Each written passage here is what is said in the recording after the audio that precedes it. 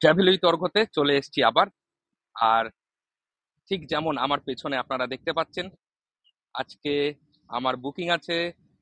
পশ্চিমবঙ্গ তো বটেই, ভারতবর্ষের অন্যতম পুরনো এবং বিখ্যাত টুরিস্ট লজ, যেটি ফরেস্টের একদম ভেতরে অবস্থিত, সেই জলদাপাড়ায় হলং টুরিস্ট লজে। যেই টুরিস্ট লজে থাকলে আপনাকে আলাদা করে কোনো সাফারির ব্যবস্থা করতে হবে না। আপনি ঘরে বসেই দেখতে পারবেন। সঙ্গে থাকুন দেখতে থাকুন ট্রাভেল বিতর্ক। গেট দিয়ে ঢুকেই ঠিক আমার পেছন দিকে যেটা রয়েছে সেটা হচ্ছে একটা চেকপোস্ট এখানে আপনাদের ওয়েস্ট বেঙ্গল ট্যুরিজম ডেভেলপমেন্ট কর্পোরেশনের যে হলং বন বাংলোটি রয়েছে সেই বন বাংলের যে আহ, অনুমতিপত্র রয়েছে যে বুকিং স্লিপটি রয়েছে সেই বুকিং স্লিপটি আপনাদেরকে দেখাতে হবে। এবং আইডি প্রুফ আপনারা যেটা সঙ্গে আনছেন সেগুলোর এখানে সমস্ত ভেরিফিকেশন হবে। ভেরিফিকেশন হওয়ার পরে আপনাদেরকে ওনারা এই পেছনে যে রাস্তা দেখা যাচ্ছে, এই রাস্তা দিয়ে প্রবেশ করার অনুমতি দেবেন। আজকের ভিডিওতে আমরা জেনে নেব কীভাবে পৌঁছানো যায়, কোন রুম থেকে সেরা ভিউ পাওয়া যায়, খরচ কত, আর কীভাবে এলিফ্যান্ট সাফারির বুকিং হয়। তো প্রথমেই জেনে নিই কীভাবে পৌঁছানো যায়। সব থেকে কাছের রেল স্টেশন হলো হাসিমারা, আর নিউ জলপাইগুড়ি একটু দূরে। বাগডোগরা এখান থেকে একশো তেতাল্লিশ কিলোমিটার। আর হলংয়ে প্রবেশ করার মূল চেকপোস্টটি কিন্তু একত্রিশ নম্বর জাতীয় সড়কের উপর উপস্থিত হওয়ায় এর অ্যাক্সেসিবিলিটি খুবই ভালো। হলং টুরিস্ট লজে থাকার খরচ কত? সেই ব্যাপারে একটু আপনাদেরকে আইডিয়া এবার দিয়ে রাখি। ওয়েস্ট বেঙ্গল ট্যুরিজম ডেভেলপমেন্ট কর্পোরেশনের ওয়েবসাইট থেকে হলংয়ের যখন বুকিং হয়, সেই রুমের চার্জ হচ্ছে চার হাজার টাকা প্রতি রাত। এটি কিন্তু নন এসি রুম এসি লাগানো রয়েছে। যদি এসি আপনাকে রাত্রে ইউজ করতে হয় রিসেপশনে কথা বলতে হবে, পাঁচশো টাকা অন স্পট ক্যাশ ডিপোজিট করলে ওনারা এসি অন করবেন। আট বছরের উপরে যদি আপনাদের সঙ্গে আপনাদের সন্তান সন্ততি থাকে, তার জন্য এক হাজার পাঁচশো টাকা প্রত্যেক রাত এক্সট্রা পার্সেন্ট চার্জ দিতে হবে। প্লাস টুয়েলভ পার্সেন্ট জিএসটি যেটি আপনাকে চেক আউটের সময় এখানে দিতে হবে। যেহেতু এই ফরেস্ট লজটি একটি ন্যাশনাল পার্কের ভেতরে অবস্থিত। তাই প্রত্যেক টুরিস্ট পিছু একশো কুড়ি টাকা করে এন্ট্রি ফি এবং যে গাড়ি করে আপনারা আসবেন সেই গাড়ির জন্য ফ্ল্যাট চারশো টাকা দিতে হবে। এবার খাওয়া খরচ। এখানে খাওয়া প্যাকেজ সিস্টেমে একটি লাঞ্চ বিকেলের টি ডিনার সকালের ব্রেকফাস্ট ধরে নশো টাকা। সব যদি যোগ করা হয় তাহলে কিন্তু এক রাত্রে একটি পরিবারের হলং টুরিস্ট লজে থাকার খরচ দশ হাজার টাকার কাছাকাছি। আর এর ওপরে যোগ হবে যদি আপনি এলিফ্যান্ট সাফারি করতে চান। এলিফ্যান্ট সাফারি এই মুহূর্তে বুক হয় West Bengal state forest development এজেন্সির ওয়েবসাইট দিয়ে। কিন্তু এখান থেকেও on spot elephant safari book করা যায়। Subject to availability of the seat এর কোনো গ্যারান্টি এখানকার কর্তৃপক্ষ কিন্তু দিতে পারবেন না। তাই এলিফ্যান্ট সাফারি করতে হলে অনলাইনে বুক করে আসাই ভালো। রিসেপশনের ঠিক ডান হাতে রয়েছে সিঁড়ি। এই সিঁড়ি দিয়ে এবার মূল ভবনে প্রবেশ করার রাস্তা।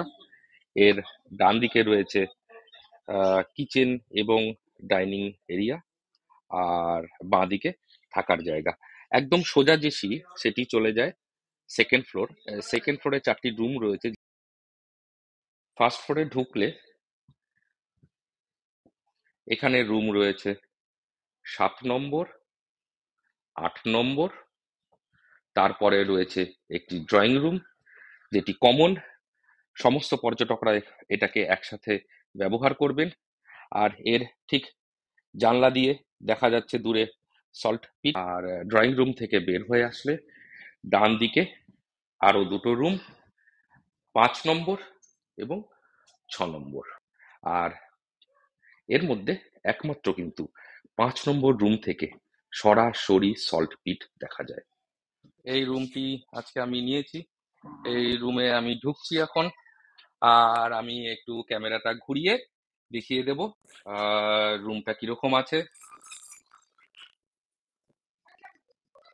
আর এই পাঁচ নম্বর রুম আর আট নম্বর রুমের যেটা সব থেকে বড় বিশেষত্ব, সেটি যেমন আমি ঢোকার মুখে বলেছিলাম, আপনাদেরকে জিপে করে জঙ্গল সাফারি বুক করতে হবে না।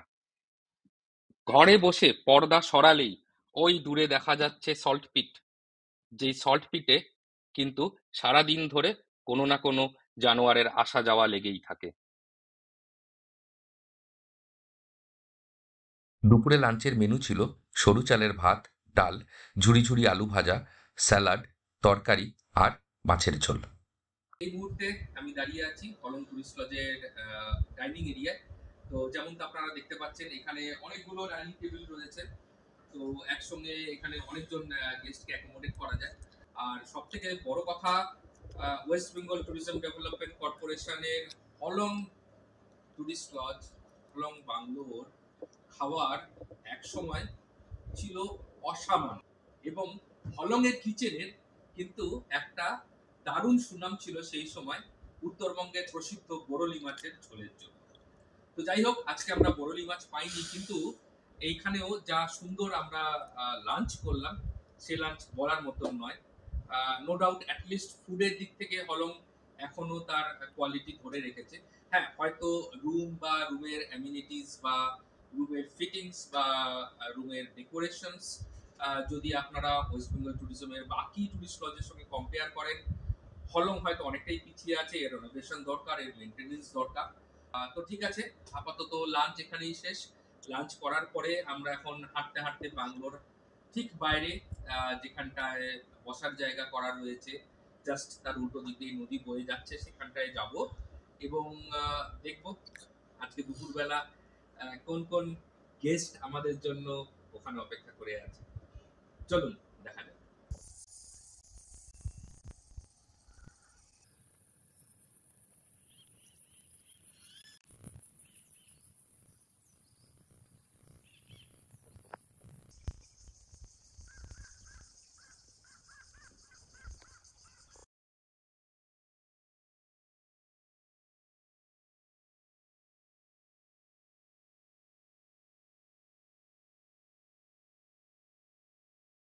সাড়ে আটটার সময় রাতের ডিনার সারা হলো ভাত, ডাল, আলু ভাজা আর চিকেন কষা দিয়ে। পেছনে সবুজ রঙের যে কংক্রিটের স্ট্রাকচারটি করা আছে, এটি হচ্ছে হাতিতে ওঠার জন্য একটা প্ল্যাটফর্ম করা, যাতে খুব সহজেই হাতিতে এখানে ওঠা যায়। হাতি এখানে এসে দাঁড়াবে আর এই সিঁড়ি দিয়ে উঠে তারপরে হাতির পিঠে চাপা যায়। প্রত্যেকটি হাতিতে চারজন করে পর্যটক ওঠেন। আর সেই চারজন করে পর্যটক কীভাবে বসবেন সেটি সম্পূর্ণ নিয়ন্ত্রণ করেন এখানকার প্রশিক্ষিত মাহুত এবং অন্যান্য বনকর্মীরা। হাতির পিঠে চেপে ঘন জঙ্গলের মধ্যে দিয়ে আস্তে আস্তে বেশ কিছুক্ষণ এগোতেই পথে পড়ল ছোট্ট একটি নদী। আর সেই নদীর ধারেই দেখা মিলল বহু প্রতীক্ষিত জলদাপাড়ার বিখ্যাত এক সিংহ গন্ডারের।